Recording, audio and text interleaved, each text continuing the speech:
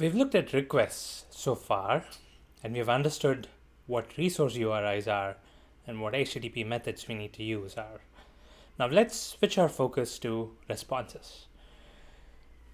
So we've learned where to make the request, which is the resource URI, and how to make the request, which is what HTTP method to use.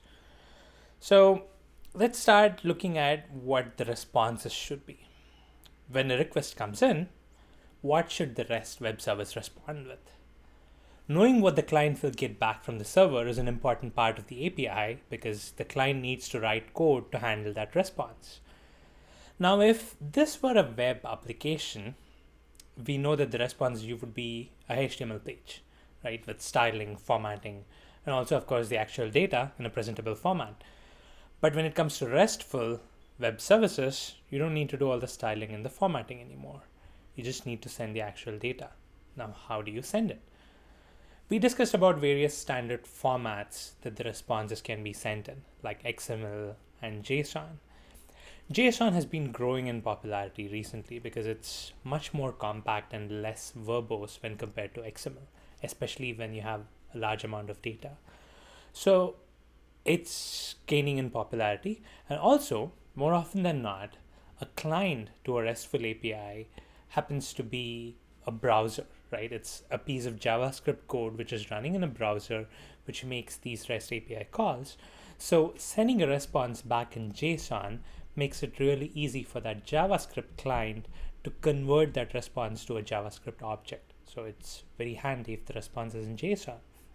So considering all these advantages, we'll choose JSON as the response for our messenger application in this course. However, note that you don't typically need to settle for just one format. You could write APIs which return both XML and JSON, right? There could be multiple response formats. And we'll implement one such API, uh, you know, one such endpoint later in this course to illustrate this. But for the most part, we'll be using JSON in this course. So let's look at the format itself. Uh, let's say our message entity class has these four member variables the ID of the message, the text of the message, when it was created, and who created it, right? Four simple properties. When a GET request is made for a specific message, say message ID 10, the JSON that you would return to the client would look something like this. You again have the four properties with the values for each of those properties. But the response doesn't have to be JSON. You could return XML as well if the client asks for an XML format.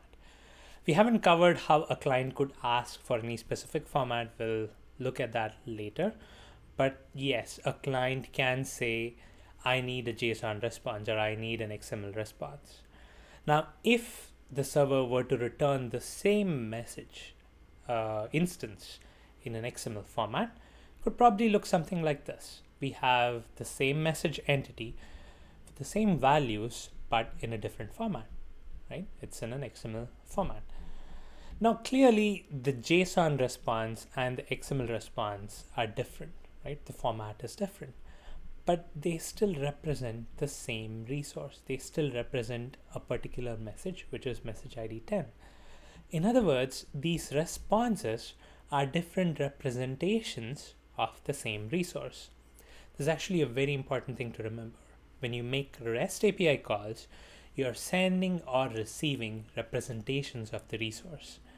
Different representations could have different formats, even though the underlying resource is the same. This is actually how REST gets its name. REST stands for Representational State Transfer. So you're transferring the representational state. Okay? When you make REST API calls, you're sending or receiving representations of a resource. Okay, so now it's great that a REST web service can return data in XML or JSON or a different format. But that brings up a problem. How does a client know what format the response is in? The client can, of course, request data in a particular format, but there's no guarantee that the server returns it in that format. So let's say a client asks for XML, but the REST service knows only JSON it could return JSON, ignoring the client's preference for XML. Again, this is something we're going to talk about a bit later, but the client doesn't necessarily know beforehand what the returned response format is.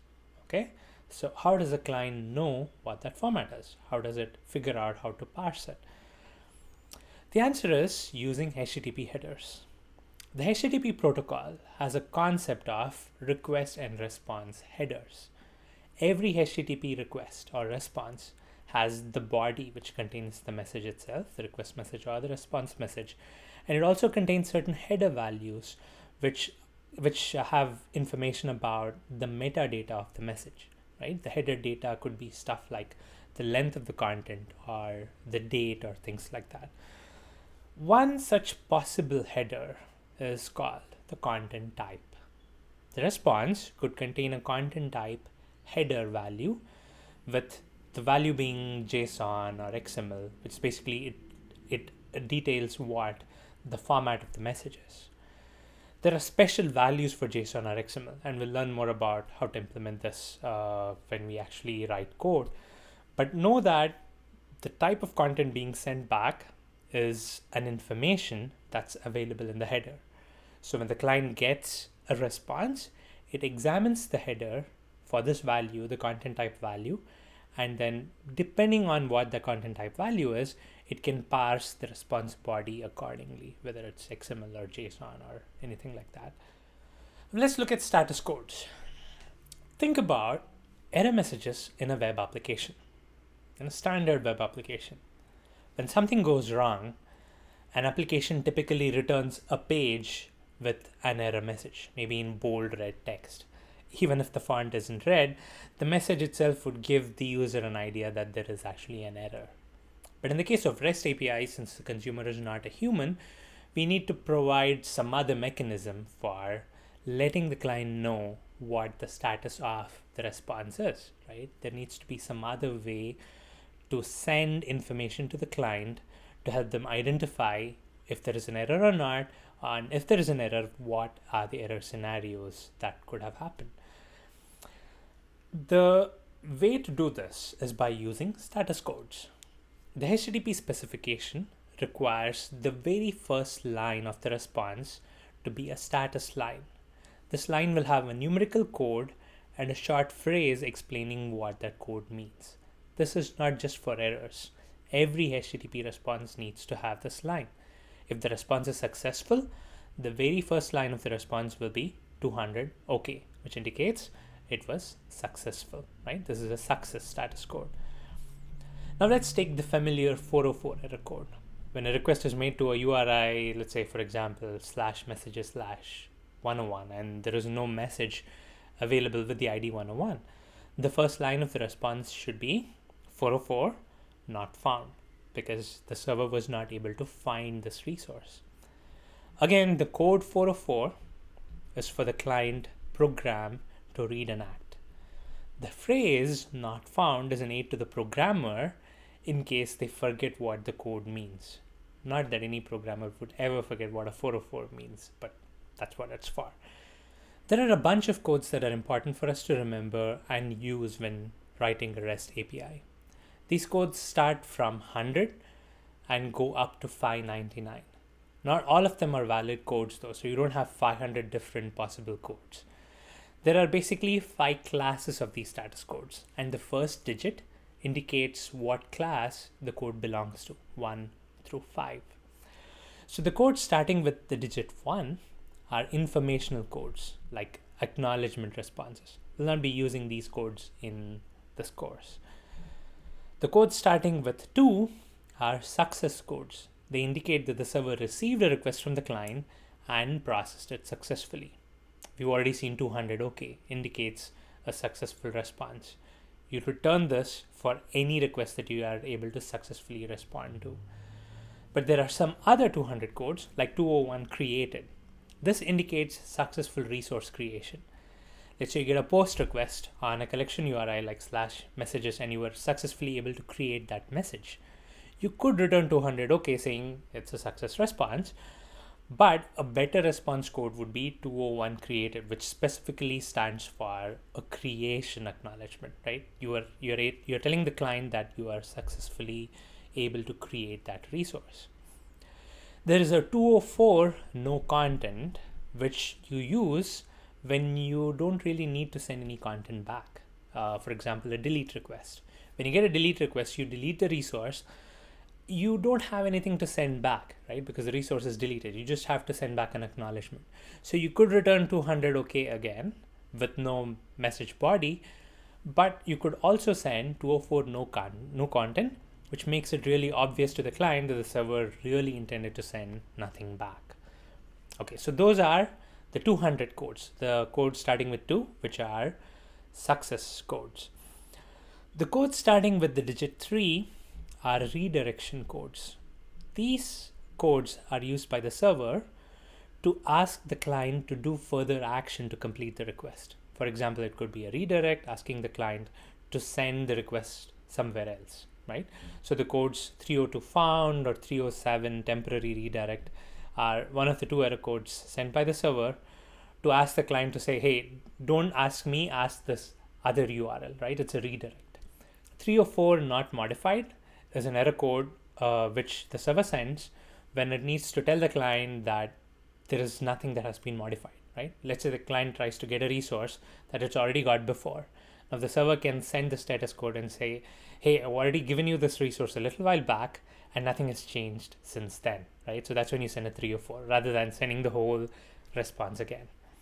So those are the 300 codes. There are much more uh, than what's in this list that I'm covering. I'm looking at the more important ones. You can uh, look up uh, the complete list of codes for a more comprehensive list. Okay, so the 400 codes indicate client error. These error codes are returned if the client makes an error in the request. The request syntax could have been incorrect, or the client is requesting something that it's not supposed to see. So there is 400 bad request, which is a blanket client error. The server is really not able to understand the request. There is 401 unauthorized, which which means that the client needs to sign in or authorize themselves to see the resource. There is 403 forbidden, which means that the client may have authorized or logged in, but they're not allowed to make this resource request, right? They don't have the right access or something like that. There's 404 not found, no description required. 415 unsupported media type, which means that the client is speaking in a language that the server cannot understand, some format that the server cannot understand. So the, the server just responds with 415 unsupported media type. Okay, so finally, the 500 codes indicate server error, right? The 400 codes are when the client screws up something when sending the request. The 500 codes are when the server screws up something when sending the response back right? So it's basically the server saying, okay, I got your request. It looked like a valid one, but something went wrong when I tried to process it. So it returns the 500 codes. So the popular 500 error code is uh, 500 internal server error. This is a generic error code. The server gets a request, the resource exists, or otherwise you would have got a 404, right? So the server is able to find the resource, but something went wrong when processing the request. In this case, the standard practice is to send the error code 500 along with the error details in the body of the response. There are a bunch of other codes, again, like I said, but these are the important ones to remember. We'll look at more when we start implementing some of these APIs. But let me remind you again, these codes are for you as a web service developer to use, right? The clients already know what this means when they see one of these error codes. So it's up to you to send the right error codes when these events happen. For example, let's say you get a runtime exception when processing a request. You need to send back the error code 500 because this means server error. And when you send it back, the client will know what, what has happened. Now, here are some scenarios for uh, the CRUD use cases that we saw in the previous tutorial. And we'll identify the status codes for each message resource. So you have messages slash message ID, we do a get, you return success 200. Uh, if everything goes well, we return a 404 when you're not able to find the message ID, or you return 500 if something goes wrong on the server. Delete message, again, if you're able to delete successfully, you return 200 OK or 204 no content. If everything goes well, you return a 404 if you're not able to find this resource and you'll return 500 if something goes wrong when you're trying to delete. Edit message. You get a put for the message instance resource ID. You return 200, okay, success if everything goes well. You return 400 or 415 if the body of the message, body of the request you've got is not in the right format or doesn't have the right data. Okay. You return 404 again if you're not able to find the message that you want to update. And again, you return 500 if there is an error. And finally, create message. Get a post request to slash messages. You return 201 if you're able to successfully create the message. 201 is created. Again, you return 400 or 415 if the body is in the wrong format or has the wrong data. And you return 500 if there is an error in creating the creating the resource. I hope this gives you a better idea of the status codes to be returned. Uh, responses for other resources would mostly follow the same pattern. Again, this is a small subset of the HTTP status codes, and we'll look at some more when we start implementing the APIs. To summarize, in this tutorial, we learned about resource representations, we learned about HTTP message headers, and we learned about HTTP status codes. These are things you have to keep in mind when you're developing your REST API. Thanks for watching.